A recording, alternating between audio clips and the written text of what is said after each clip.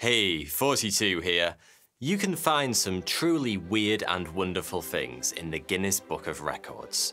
Xian Xia has the longest eyelashes in the world, Nick Stoeberl has the longest tongue, and Sridhar Chilal holds the frankly disgusting record for the longest fingernails on a single hand. Ram Singh Chauhan has the longest mustache, Mehmet Ozyurek has the biggest nose, and the one you've all been waiting for, a man called Akira Yokokura, is the proud owner of the world's most gigantic cockroach. Wait, what did you think I was going to say? In case you're interested, this girthy cockroach is 10 centimeters long with a 20 centimeter wingspan, and it can be found preserved in Mr. Yokokura's private collection in Yamagata, Japan. Coincidentally, considering the context in which I brought it up, the world's biggest cockroach belongs to the species Megaloblatta longipennis. Sometimes these things are just meant to be. As incredible as all these things are, in my opinion, one record in that venerable book of Guinness stands head and shoulders above the rest, in more ways than one. The record I'm referring to belongs to an unassuming man by the name of Robert Pershing Wadlow, who was born in Alton, Illinois in 1918. He was, quite simply, the tallest human being ever to have lived. There are several things that make this record so remarkable. First, it was set almost 100 years ago, when the average height for an American male was under 5 foot 7, around 3 inches shorter than it is today. Second, considering the sample size we're talking about, literally billions upon billions of people throughout history, Wadlow holds this record by a surprising distance. He was more than 2 clear inches taller than the second tallest person ever, another American by the name of John Rogan. The final reason Wadlow's record is so amazing is simple. There's a very good chance it will never be broken, but more on that at the end of the video. The tallest person amongst the almost 8 billion human beings on planet Earth today is a Turkish man by the name of Sultan Kösen. When you think about it, it's quite a feat to be the tallest person alive. We live in an era when there are more people than ever before, and when the average adult is taller than at any point in history. But here's the crazy thing. Sultan Kösen, tallest man on Earth, is more than 8 inches shorter than Robert Wadlow was when he died. There are estimated to be somewhere in the region of 2,800 seven-footers alive today. One of those is Shaquille O'Neal, arguably the most physically imposing basketball player the NBA has ever seen. Here he is standing next to full-grown adult man Kevin Hart. This, on the other hand, is Shaq standing next to a life-size statue of the tallest man in history. Yeah, I make that about nipple height. Next to a man mountain like Shaq, Wadlow still looks huge. Next to human-sized humans, he hardly looks real. At first glance, this looks like a picture of a man standing in the middle of a group of children. But no, that's just Robert hanging out with his family. The man on the end is his dad. He's just under six feet, which was considered relatively tall for the era. The funny thing is, Robert came into this world a perfectly normal-sized baby. Not that he stayed that way for long. In the first six months of his life, he grew at a rate of more than two inches per month. By the time he was half a year old, he was about the size of your average two-year-old. And when he took his first steps a month before his first birthday, he found himself eye to eye with the local five-year-olds. To say Robert was an unusual looking child doesn't really do him justice. There might not have ever been a kid quite like him. By the time he turned four, he was taller than the average adult woman of the day, and by six, he was about the size of your average man. When he started first grade, he was comfortably taller than his teacher. Robert continued to grow at an almost unbelievable rate throughout his childhood, topping 6 feet by the age of 8 and 7 feet by the age of 12. By this point, Robert's family had started to realise their son wasn't just a big strong lad who ate all his greens.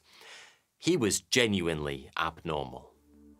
And so they took him to the local hospital for a checkup, which was when they found out what was really causing him to grow so fast.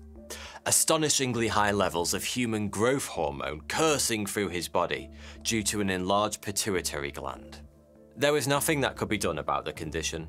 The pituitary gland is inconveniently located at the base of the brain, meaning accessing it is a dangerous business. Robert's doctors didn't dare to operate for fear of killing him outright. As he approached his teenage years, Robert had grown so outlandishly tall that he was becoming something of a minor celebrity. At 12, he met heavyweight boxing champion Primo Carnera. Standing at 6 feet 6 inches tall, Carnera was an absolute giant in his day. Nicknamed the Ambling Alp, he still holds the record for the most wins by knockout of any heavyweight champion in history. Carnera had spent his entire life being the bigger man, not just in the ring, but basically everywhere. Except when he met the boy the papers had started calling the Alton Giant. 12 year old Robert Wadlow made quite the impression on Carnera, who described him as the biggest human being he'd ever seen. That was no doubt true, but little did the ambling Alp know that Robert still had another two feet of growing to do. At 15 years of age, Robert was 7 foot 10. That's a good 3 inches taller than Gheorghe Muresan, the tallest man to ever play in the NBA.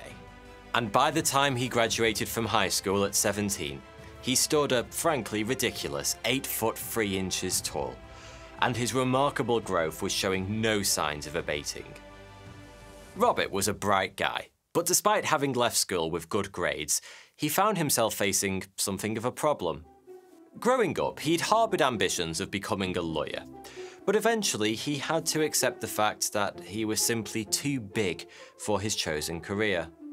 That might sound ridiculous. Jobs don't come with theme park ride style height restrictions, but Robert was so tall, the normal rules of life simply didn't apply to him. If you're able-bodied and of a fairly standard height, you probably take the ease at which you navigate the world each day for granted. But for extremely tall people, things aren't always so straightforward. Anyone over 6 feet 6 will learn pretty early on to stoop a little lower when approaching the average door frame to Ouch. avoid banging their head. To Robert, the average door frame hardly got past his navel, and he was taller than most ceilings. Working at a standard desk was just out of the question, and almost all the items you need to work in a 1930s office job pens and pencils, a typewriter, a pretty young secretary to have an affair with were all too small for his hands, which, incidentally, were the longest ever measured. He even had to invent a new crab-like technique for walking upstairs because his feet, also the longest in history, were too big to fit on the steps. Even something as simple as using the toilet was incredibly difficult. If you ascribe to the theory that the average bloke has pretty shoddy aim when it comes to answering the call of nature, just imagine how much worse it would be if we all went to the loo standing halfway up a ladder. In the end, Robert had little choice but to accept that a regular job just wasn't an option. Still, there was one career path that was always going to welcome him with open arms and painfully craned necks. The circus. The world famous Ringling Brothers came calling in 1936 when Robert was just 18. And they were both pleasantly surprised and absolutely delighted when the world's tallest man politely accepted their offer. Whilst on the face of it, joining the circus might seem like a somewhat degrading thing to do for a bright young man with no actual circus skills, Robert never saw it that way. He somehow managed to keep the whole thing pretty low-key.